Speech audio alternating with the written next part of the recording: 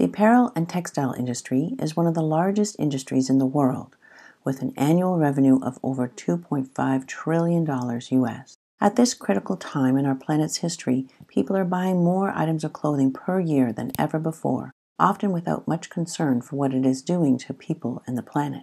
We know that these prices for t shirts are simply too cheap to be the true cost.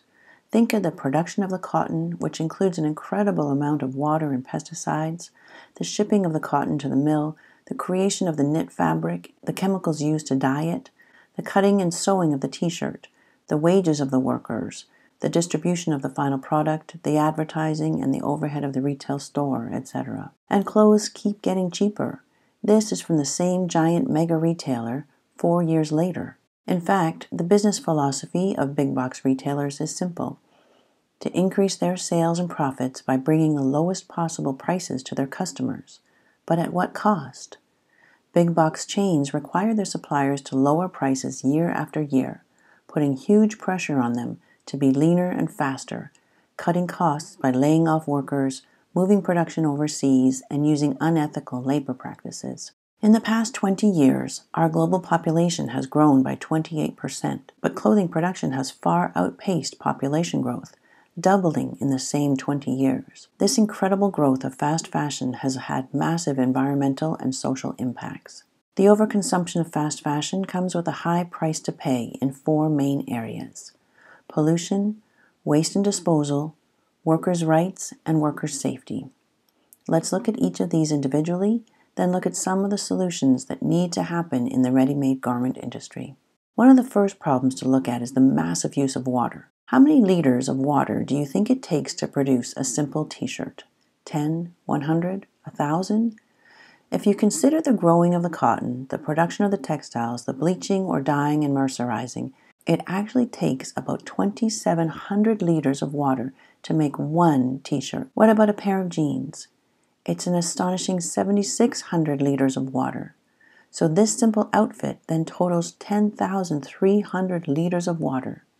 If you think of that in terms of drinking water, at the recommended rate of about 2 liters of water a day, it would take a person more than 14 years to drink that much water. Multiply that by an average of 20 new garments per year times 7.9 billion people, and the result is billions of cubic meters of water being used in the ready made garment industry every year. And the problem is that this huge amount of water is not just returned to the hydrologic cycle to be safely used again, it is polluted with toxic chemicals at each stage of garment production.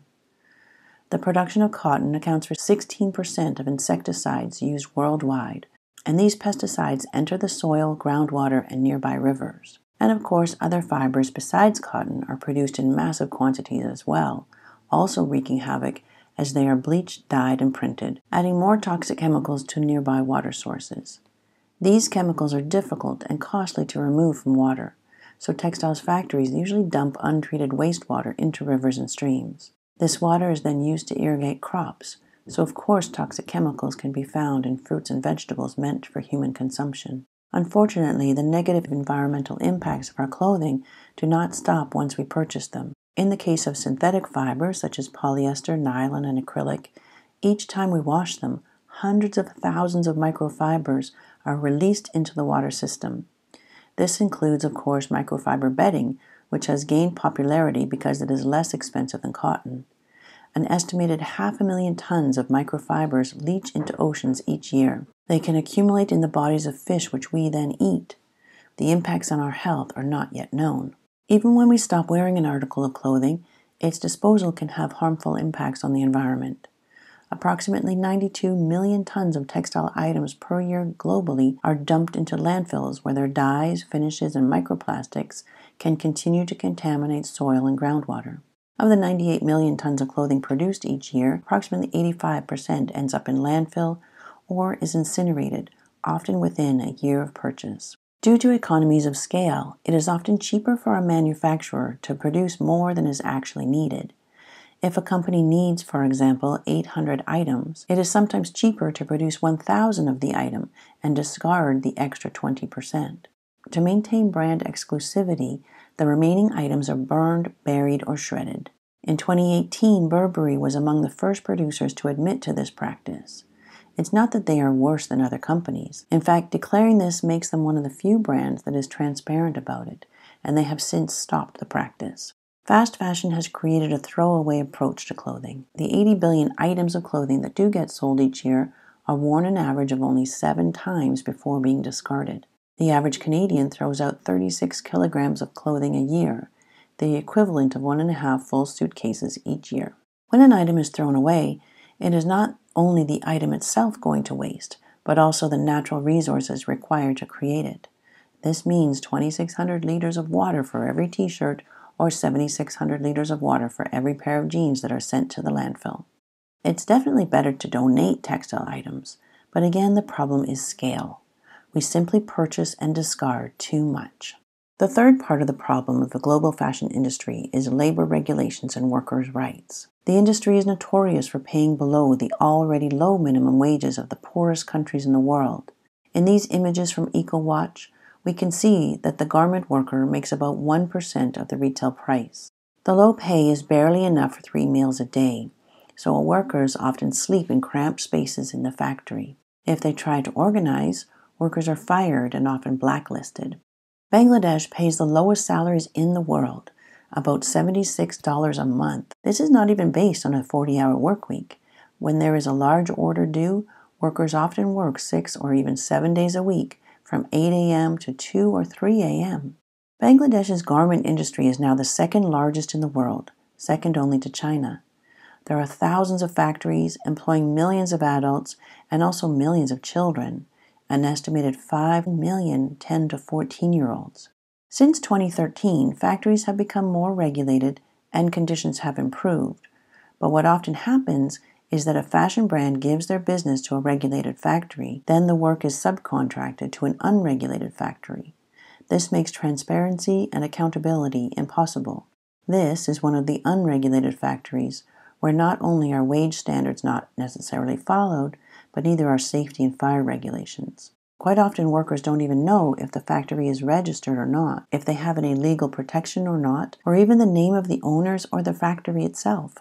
In 2006, in Bangladesh, Rana Plaza was built on a filled in pond without proper approvals as a four floor building with mixed retail and office space It was not designed for industrial use, meaning that its structure was not strong enough to support industrial machinery.